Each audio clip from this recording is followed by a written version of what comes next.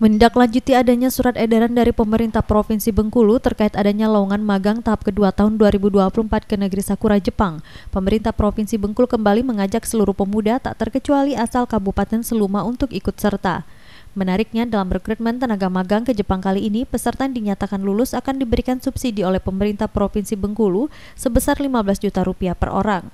Hal ini diungkapkan PLT Kepala Dinas Ketenagakerjaan dan Transmigrasi Kabupaten Seluma Iksan Sahudi yang mengatakan surat edaran tersebut sudah diedarkan lebih lanjut ke tingkat desa, kelurahan, dan kecamatan.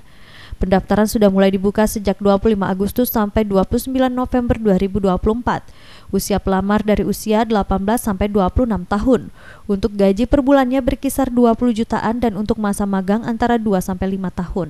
Uh, kemarin memang ada pemberitahuan dari pemerintah provinsi Bengkulu melalui sekretaris daerah provinsi Bengkulu menyampaikan surat ke kita supaya uh, kabupaten kota seperti Bengkulu menyiapkan uh, anak-anak yang ada minat melaksanakan magang ke Jepang. Hmm, usianya berapa tahun?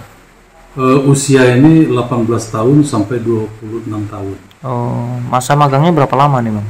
Masa magang ini kalau yang sudah ini ada yang tiga tahun ada untuk penempatan magang nantinya dapat meliputi bidang pertanian, konstruksi bangunan, engineering maupun kesehatan.